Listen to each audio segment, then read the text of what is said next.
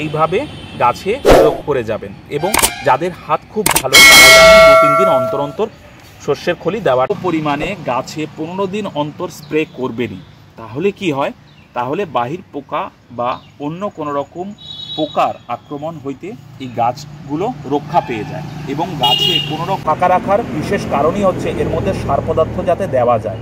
এবং বিভিন্নভাবে মাটির পরিচর্যা এবং জল দিতে যাতে সুবিধা হয়। নমস্কার তার জন্য বসন্ত গাছের চ্যানেলে আপনাদের সকলকে স্বাগত।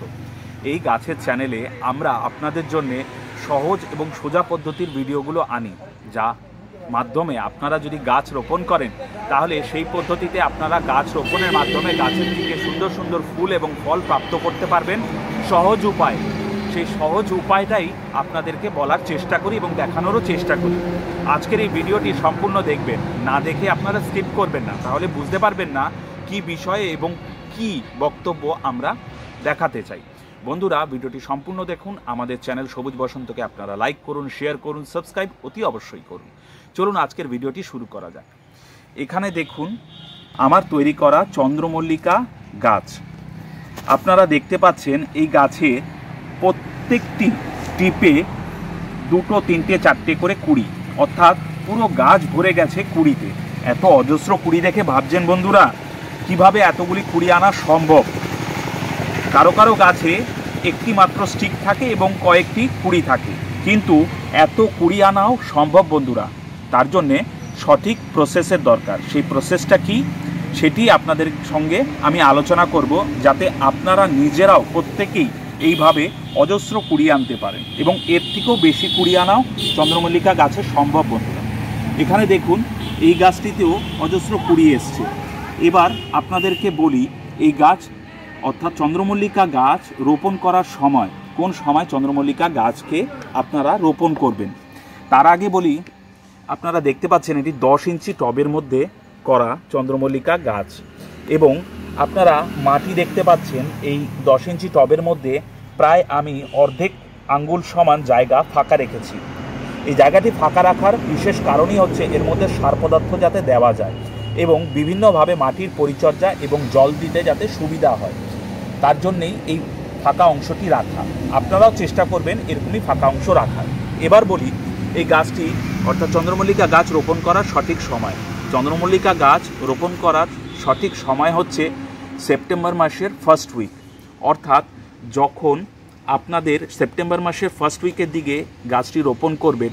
আমিও ঠিক এই প্রসেসেই সেপ্টেম্বর মাসের ফার্স্ট উইকে চারা গাছটি রোপণ করেছি চন্দ্রমল্লিকা এবার ধীরে ধীরে তারপর সেপ্টেম্বর, অক্টোবর, নভেম্বর, অর্থাৎ তিন মাস অতিক্রান্ত হয়েছে গাছটি পরিচর্যা করতে এবং এই অবস্থা পর্যন্ত আনতে বন্ধুরা।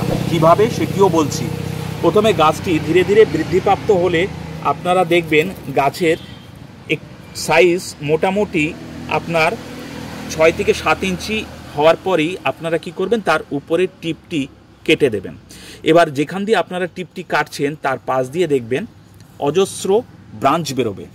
যত বেশি ব্রাঞ্চ বেরোবে বন্ধুরা, তত বেশি কুড়ি আসার সম্ভাবনা বেড়ে যাবে। এইভাবে পরিচর্যার মাধ্যমে নভেম্বরের শেষ সময়ে আপনার গাছে এরকম আকৃতি ধারণ করবে এবং কুড়িতে ভরে যাবে। এরপরে শুধু এটিই নয় বন্ধুরা এরপরেও এই গাছে বাঁধন দেওয়ার একান্ত প্রয়োজনীয়তা হয়। যদি বাঁধন সঠিক না হয়, তাহলে কি হয়? গাছের উপরের অংশ যত ঝাঁকড়া হবে এবং কুড়ি ফুলে যখন গাছ ভরে উঠবে, তখন তার ওজন বৃদ্ধি হবে। যত ওজন বৃদ্ধি হবে, তত গাছ একদিকে হেলে পড়ে যাওয়ার ভয় বেশি থাকে। তার জন্য এর সঠিক বাঁধন আপনাদের জন্য আমি করে ভিডিও দেখাবো। আমাদের চ্যানেলের সঙ্গে থাকবেন, তাহলেই আপনারা দেখতে পারবেন ওই ভিডিওটি। ওইভাবে যদি বাঁধন করে দেন, তাহলে গাছটি শক্তপোক্ত হবে এবং গাছে ফুল অজস্র দিতে গাছ নিজেও চেষ্টা করবে এবং তাতে কোনো অসুবিধা হবে না। এবার বলি আপনাদের সার প্রয়োগের বিধি। যারা হাত খুব পাকা নয়, তারা সপ্তাহে একবার করে খোল জল দেবেন, পাতলা করে।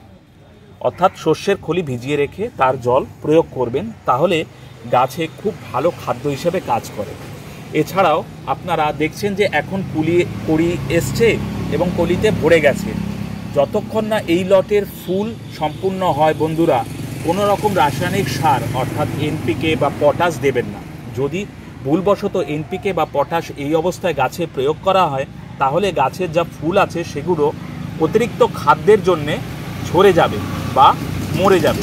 তাই জন্যে আপনাদের আমার নির্দেশ বা আমার বলার এই বক্তব্য যে আপনারা এখন সার প্রয়োগ করবে না, যতক্ষণ না প্রথম লটের ফুল আসে, ততক্ষণ আপনারা কেবল খোল জলই এইভাবে গাছে প্রয়োগ করে যাবেন। এবং যাদের হাত খুব ভালো, তারা জানেন দু, তিন দিন অন্তর অন্তর শস্যের খলি দেওয়াটা কোনো খারাপ কিছু না, অর্থাৎ দেওয়া সম্ভব হয়। তাতে গাছের বৃদ্ধি ভালো হয় এবং গাছে সুন্দর ফুল আসে। এবার বলি, শীতের কড়া রোদ চন্দ্রমল্লিকা গাছ খুব পছন্দ করে। কখনোই একে ছায়াযুক্ত জায়গায় রাখবেন না। সবসময় একে শীতের কড়া রোদ পরে এরকম জায়গায় রাখবেন। তাহলে এই গাছ খুব ভালো আপনাকে ফুল দেবে এবং গাছে খুব সুন্দর কুড়ি আসবে। এবার বলি, কীটনাশক কি প্রয়োগ করবেন? এর মধ্যে কীটনাশক প্রয়োগ করার বিশেষ প্রয়োজনীয়তা হয় না। তথাপি বলি, আপনারা নিম তেল অল্প পরিমাণে গাছে পনেরো দিন অন্তর স্প্রে করবেনই। তাহলে কি হয়? তাহলে বাহির পোকা বা অন্য কোনো রকম পোকার আক্রমণ হইতে এই গাছগুলো রক্ষা পেয়ে যায় এবং গাছে কোনো রকম খারাপ অবস্থা আসে না এবং গাছ সুন্দরভাবে কুড়ি দিতে আরম্ভ করে। তাই কীটনাশক হিসাবে নিম তেল ব্যবহার করবেন পনেরো দিন অন্তর এবং সার যেটি বললাম, সেটি ব্যবহার করবেন। তাহলেই আপনার গাছ খুব ভালো হবে। কখনোই ফুল বা কুড়িযুক্ত অবস্থায় আপনারা এর মধ্যে পটাশ বা রাসায়নিক সার প্রয়োগ করবেন। এবার বলি, এই শীতের চারটি মাস, অর্থাৎ ডিসেম্বর, জানুয়ারি, ফেব্রুয়ারি, মার্চের ফার্স্ট উইক পর্যন্ত এই গাছে অজস্র ফুল হবে এবং ততদিন পর্যন্ত একে রোদে রাখবেন, জল দেবেন পর্যাপ্ত পরিমাণে এবং সার প্রয়োগ করতে থাকবেন।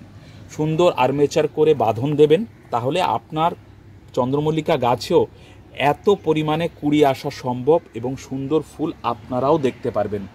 তাই আশা করি আজকের এই ভিডিও আপনাদেরকে কিছু পরিমাণে করবে এবং সুন্দরভাবে গাছের পরিচর্যা করতে সাহায্য করবে। আজকের এই ভিডিও সম্পূর্ণ দেখার জন্য আপনাদের সকলকে অশেষ ধন্যবাদ। আমাদের চ্যানেলের সঙ্গে থাকবেন, আমাদের চ্যানেলকে লাইক করবেন শেয়ার করবেন সাবস্ক্রাইব অতি অবশ্যই করবেন, তাহলেই আপনারা সুন্দর সুন্দর গাছের ভিডিও দেখতে পারবেন এবং পরিচর্যাগুলো জানতে পারবেন। আজকের জন্য এই পর্যন্তই। নমস্কার বন্ধুরা।